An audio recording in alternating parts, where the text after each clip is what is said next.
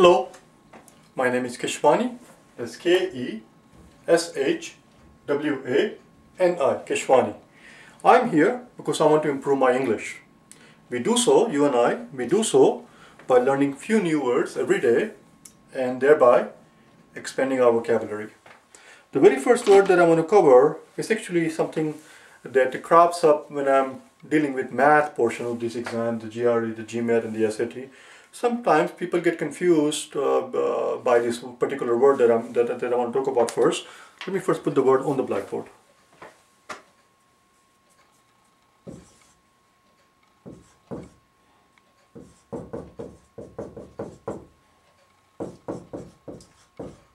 Co quotient is the word, but let me first, perhaps I shouldn't have put it on the blackboard because now I just almost gave the game away uh, some let's if you ask somebody uh, to, to give them a number to give, to give you a number a number let's give me a number uh, so that when I divide it by 5 I get a remainder of 3 give me a number so that when I divide by 5 I get a remainder of 3 and what I hear there, there are many such numbers but what I hear sometimes by from some people is uh, numbers such as, well not numbers or rather, not numbers rather, because these people who are confusing the concept of the remainder and the concept of the quotient, for those people, there exists only one number, and the number that they come up with is 15, like this. And they would tell you the answer is 15. 15 divided by 5 equals 3, and therefore they will say the answer is 15. They're confusing the concept of remainder with quotient. Quotient, what is a quotient? Let's write down the definition. What is a quotient? A quotient is the answer or the result one gets when when one divides one number by the other. For example here, the one number that is being divided by the other, the one number that is being divided is 15. That number 15 is being divided by 5. When one number is being divided by the other, the answer that we obtained at the end, the result that we get, is called quotient.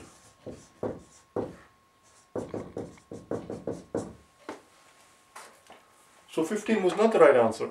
15 is not what we're looking for because we're looking for a number. In this case, people, it's one more time, people who confuse this concept of quotient with the concept of remainder, for them, there is only one answer because only 15 divided by 5 will give you an answer of 3. So they think there is only one answer. But for the questions the way it was phrased, give me a number so that when I divide by 5, I get the leftover, the remainder of 3.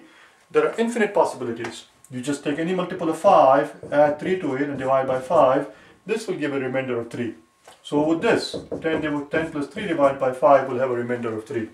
15, 15 plus 3 divided by 5 will have a remainder of 3 and so on and so forth. Why would it have a remainder of 3? Because it is by design. I'm taking a number which is a multiple of 5, 15, and then I'm adding 3 to it, thereby forcing it so that when we do this out, we will have a remainder of 3. 3 and 3 fifths. 2 and 3 fifths. 1 and 3 fifths.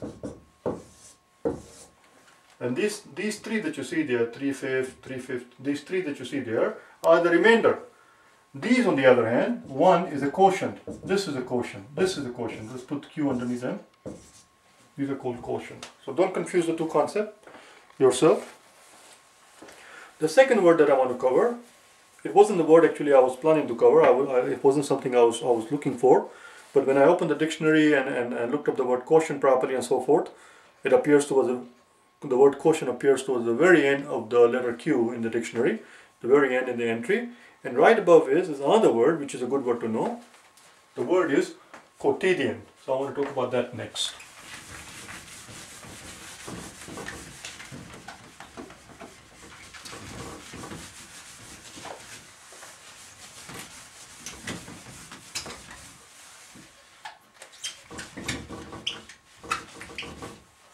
Quotidian because you may have heard of quotidian existence. But then again, you may not have heard of it, who knows? The word is quotidian. Quo.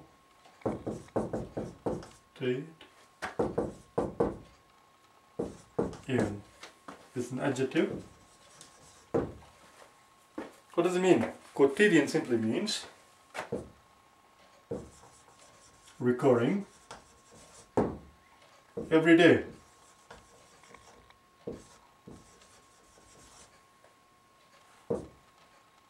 It just means commonplace.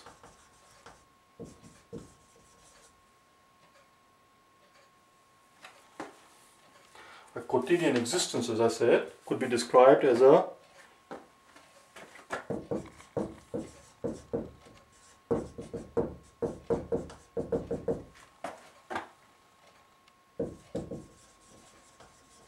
existence is sometimes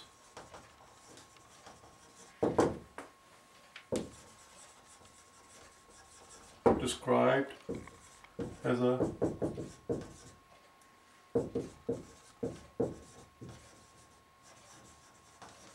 humdrum, humdrum routine, something that is monotonous.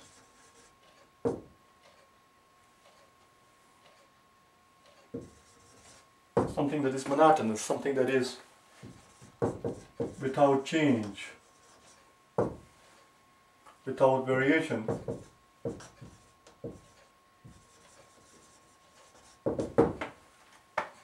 Without excitement.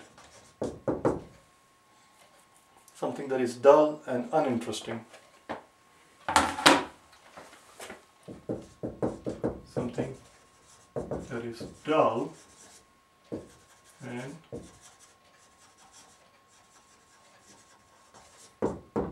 uninteresting.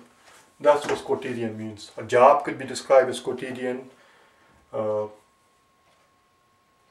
anything that is uh, dull, monotonous, repeating itself with a very predictable can be described as a quotidian a task or quotidian existence. The next two words that I want to talk about, and that was it. The word quotidian has nothing to do with the word that we learned before, quotient. They are not related at all. In case you're curious, the quotidian has two parts here.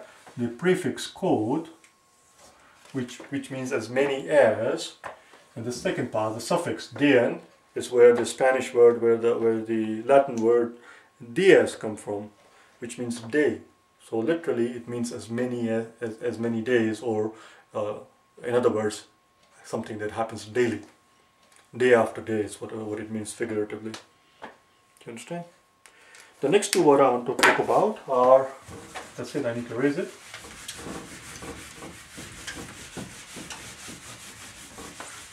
are simple words for most of you but I wanted to cover it because sometimes uh, some people may not have seen it.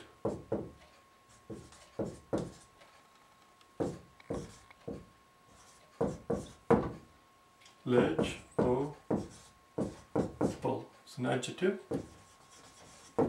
Something legible is something, something that can be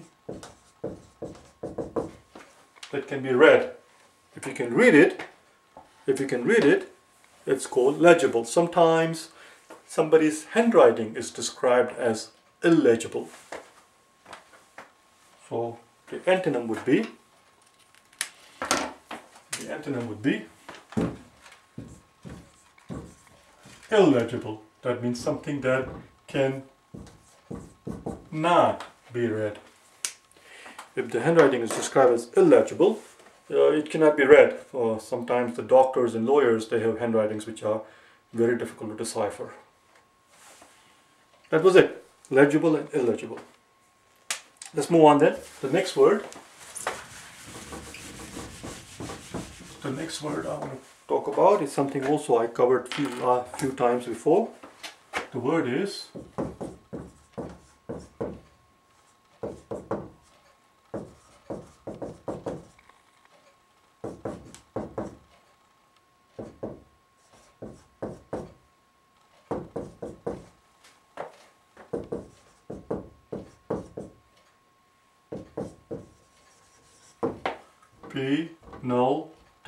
penultimate. Penultimate.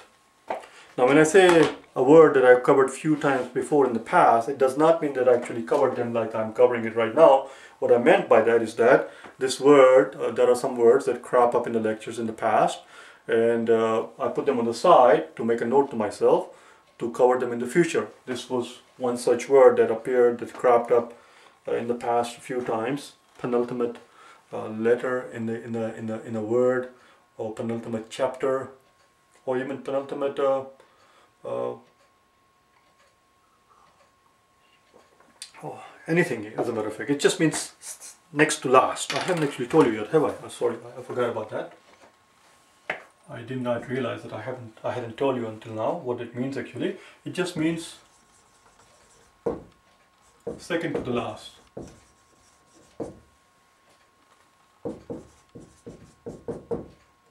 Next to last. So in a whole series of uh, things, uh, you may have the penultimate chapter, which is which means second to the last chapter. Are you almost finishing the book? Yes, I am. I am at the penultimate chapter. I am at the second to the last chapter. Or penultimate letter in, the, in, a, in a word. For example, in this word here, S is described as the penultimate letter, is the second to the last letter. That, that was it. The next word I want to talk about, that was it. Let's move on to something else.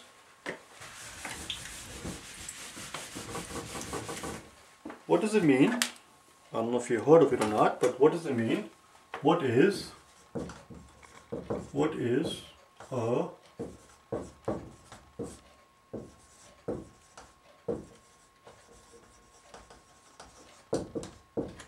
a nub of an argument or if you like a nub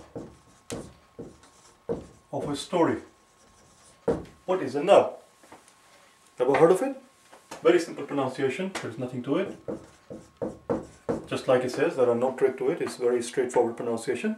What is a nub? It is a noun, first of all. That's it's a noun. And what does it mean? A nub is simply a gist of a of a, a gist of a story, gist of a sentence, gist of an argument. It's just a gist. It's the essence of something. It's the core of something. It's a central idea. It is the main idea.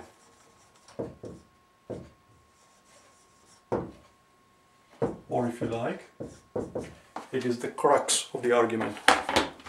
So if somebody is asking you the nub of the story, or they tell you that is the nub of the argument, uh, that is the essence of the argument, that is the gist of the argument, that is the core of it, that is the central idea, that is the central theme of the whole story, of the whole argument, whatever it is that they're talking about. And that essence, the gist of an argument, is described as the nub, N-U-B nub. That was it for today. That was day, uh, day number 11. We'll keep at it. We'll learn few words every day and uh, hopefully you and I will uh, help each other in expanding our vocabulary. Why am I doing this thing? Because it helps me formally learn the words that I've been wanting to learn for many years and I just never bothered to actually sit down and learn them formally. Now I'm doing it because I'm being forced. I'm being forced because I have uh, I have to put these videos every day and therefore I have to sit down and, and learn, learn them properly, look them up in the dictionary properly, look up the pronunciation properly, even though it's a simple word, I always put the pronunciation to make sure that uh, sometimes you can't go by the way the word something a word look.